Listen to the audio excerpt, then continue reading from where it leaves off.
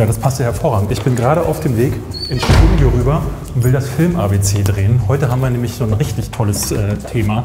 L wie Longtake. Ich nehme mal an, ihr wisst noch nicht, was es ist, aber das Gute ist am Film-ABC, ja, hier geht es ins Studio rein, ähm, dass ihr bei mir ja immer richtig viel lernt. So, und deswegen würde ich sagen, fangen wir gar nicht groß an rumzuschwafeln. Los geht's mit der heutigen Folge. Bevor wir mit der heutigen Folge starten, möchte ich mal eine kleine Anekdote erzählen. 2006, da saß der ah, nicht mehr ganz so kleine David Hein im Kino und hat sich Children of Man angeguckt. Das ist ein Film, den ich bis heute verehre. Das ist einer meiner absoluten Lieblingsfilme. Unter anderem, weil da mitten im Film diese Szene hier kommt. Ich fand das wahnsinnig faszinierend, total berauschend. Diese Szene hat mich förmlich reingezogen in den Film.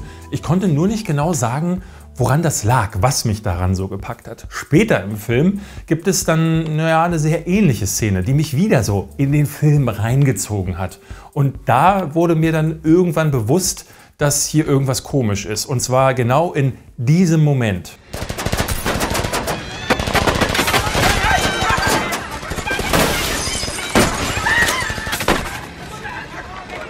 Was da passiert ist, ist, dass Blut auf die Linse spritzt. Und ich dachte damals, Moment mal, normalerweise würde in jedem anderen Film, würde da der Regisseur sagen, oh nein, da ist jetzt Blut auf der Linse, lass mal nochmal von vorne anfangen.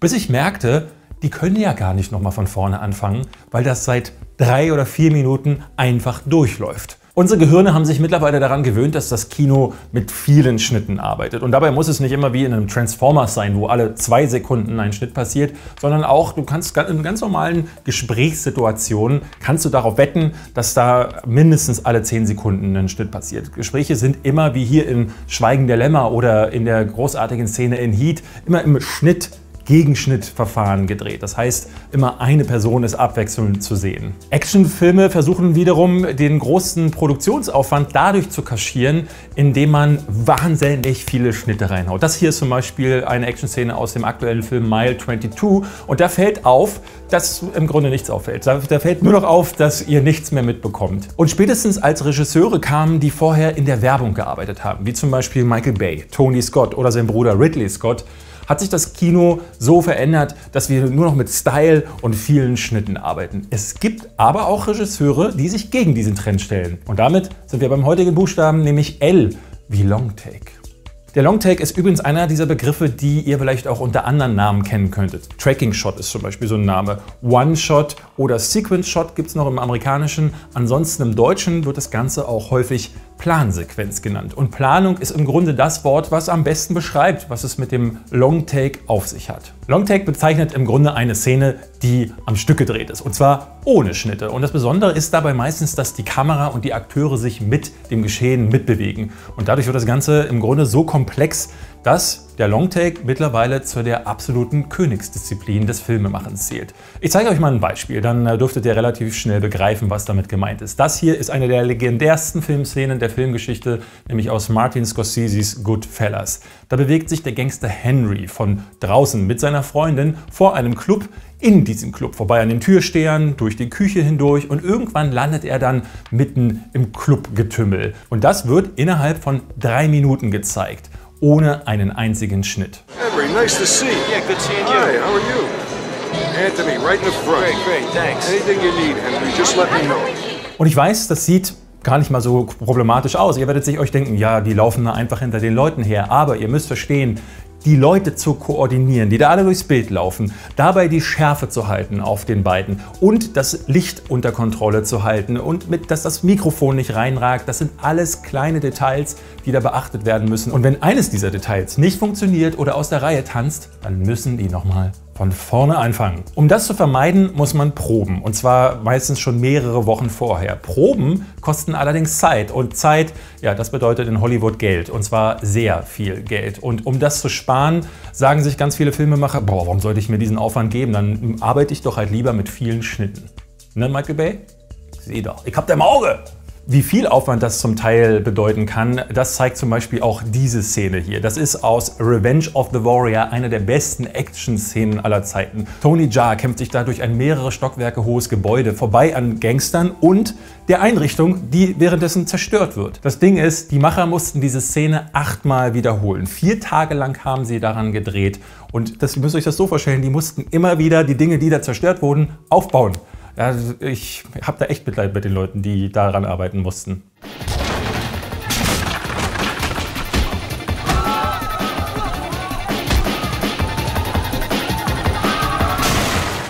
Noch krasser ist da eigentlich nur diese Szene aus John Woos legendärem Klassiker Hardboiled, wo die sich drei Minuten lang durch ein Krankenhaus ballern. Und diese Szene hier ist besonders interessant. Da gehen äh, Shao Yun Fat und ich weiß nicht, wie der andere heißt, gehen in den Fahrstuhl rein und es sieht so aus, als würden sie nach oben fahren. Machen sie aber gar nicht. Die bleiben auf demselben Stockwerk, um das besser kontrollieren zu können. Die Tür geht auf und währenddessen haben die Arbeiter im Hintergrund schnell den Flur wieder sauber geputzt und sie gehen dann in die andere Richtung. Müsst ihr mal darauf achten. Die hatten gerade mal 20 Sekunden, um den ganzen Müll da wegzubekommen.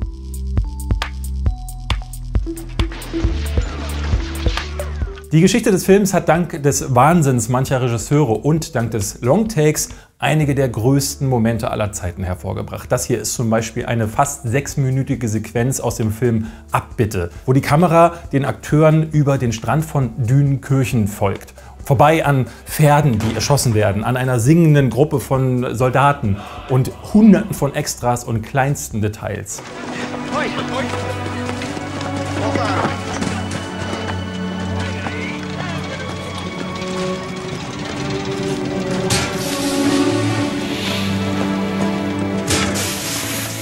Vier Minuten und 30 Sekunden in einem der wohl krassesten Fights aller Zeiten im Film Creed gab es vor ein paar Jahren. Da lässt der Regisseur Ryan Coogler die Kamera wirklich ohne Unterlass auf den Gesichtern der Akteure und zeigt auch, wie sie ins Gesicht gepanscht werden. Das ist tatsächlich in Hollywood, für mich habe ich das noch nie gesehen vorher. Und äh, das hier ist ein Beispiel aus einem sehr aktuellen Film. Auf Netflix könnt ihr euch gerade Outlaw King angucken. Das ist im Grunde so wie so eine Fortsetzung von Braveheart.